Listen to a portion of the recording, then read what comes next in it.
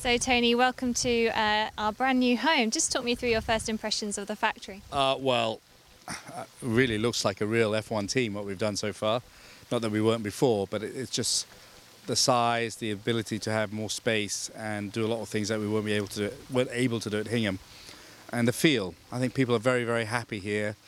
It's a wonderful feeling. My mind's been running overtime and all the things that we can do here, um, and I'm, I'm thrilled. I'm, you know, might live up here.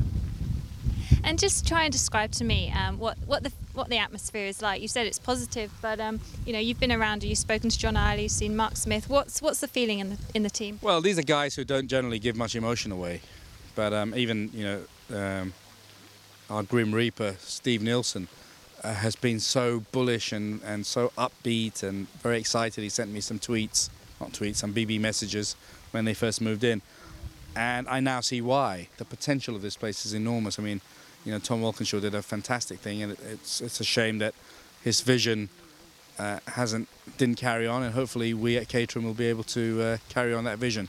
We had a great group meeting today, which talked about cars and the technology parts, and obviously the F1 team. And the final meeting was great, putting it all together. And I think soon we'll have a, a unified branding team and com- communications team.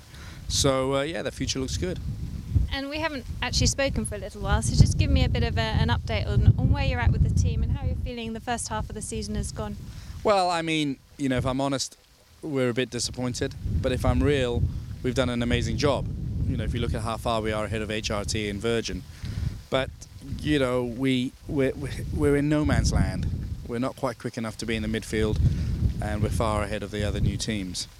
Um, the meeting today was really focusing on how we're going to get to that midfield. Whether we can achieve it this year, it looks tough, but um, let's see.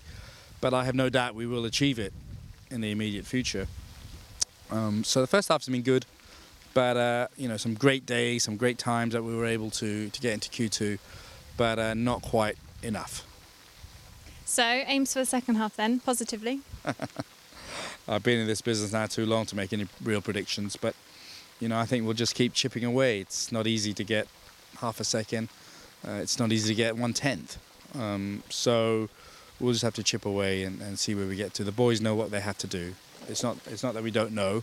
So anyway, um, yeah. I mean, I'm, you know, let, let's see. But we've got everything in place now. I think to be a successful F1 team.